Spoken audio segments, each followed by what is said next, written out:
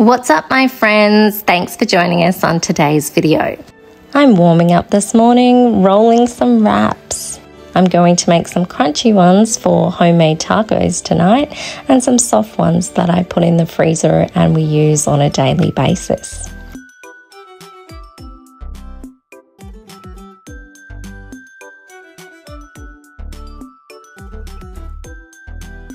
Spring's still about a month away, but it's a great time to start some seedlings.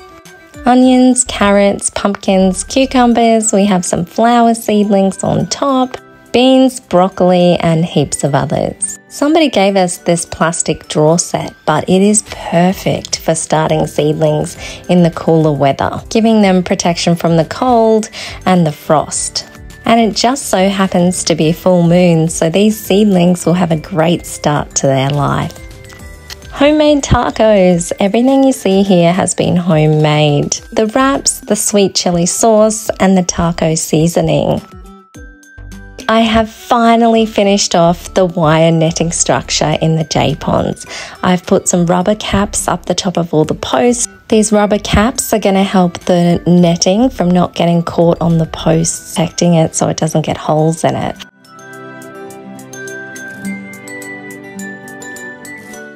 While Anthony's busy finishing off the excavation, I'm tending to every post and the bracing wire, making sure it's tight. I'm also tensioning the cross wires, and I'm so thrilled to say this is the last task to do here. Now we just have to wait for the netting to arrive.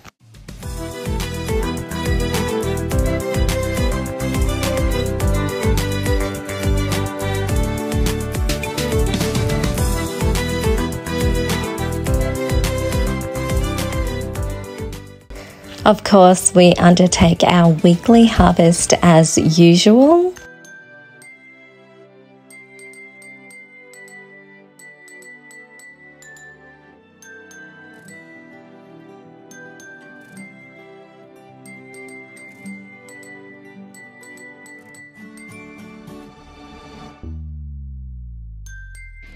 And I'm very much enjoying the bountiful harvest from my garden. It definitely makes my soul happy. Vegetable curry for tonight's dinner.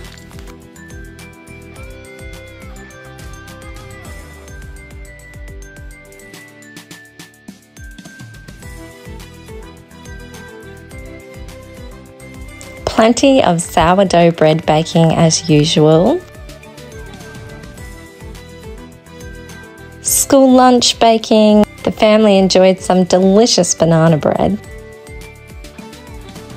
And of course, completing countless daily chores. I quite enjoy the daily chores though. I love being active and I love seeing my family and me reap the benefits, such as a warm, toasty fire at night and clean clothes to wear that are chemical free. Yes, I'm one of those people who are concerned with the amount of toxins that are in the environment these days, and where possible, I try to reduce them for the health of not only me and my family, but of course the planet. Our son's birthday is coming up, and for eight months, his little cubby has just been four posts in the ground. He's been very patient, but the time has come that I have to get into this project and finish it off before his birthday. He has attempted many builds himself with just moving pallets around and placing sheets over them. But of course, it always falls down, and I feel so bad when I see him out there struggling. His little heart really does desire a cubby house. It brings me back to my childhood, and I would always ask my dad to build things for me.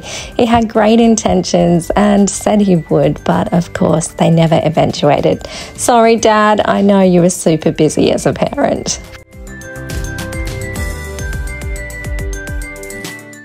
And here's that delicious veggie curry for dinner.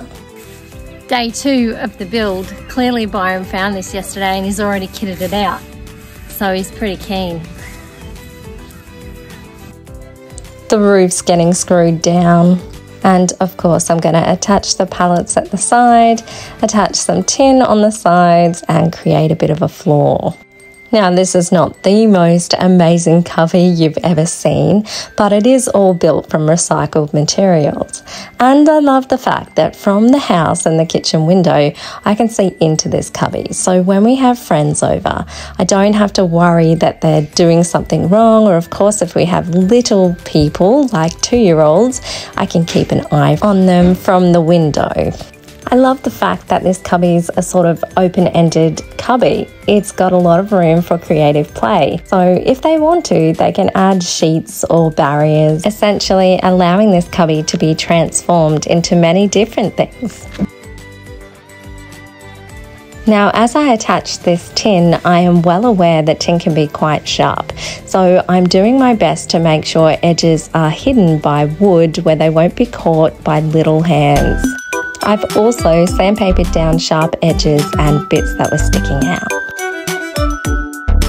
Now, if the cubby looks like it's on a lean, that's because it is actually built on a gentle slope. So I have adjusted things to accommodate that in the build.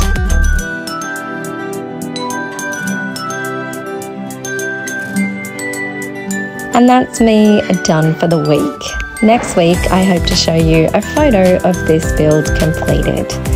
Thanks for watching, everyone. Have a great week.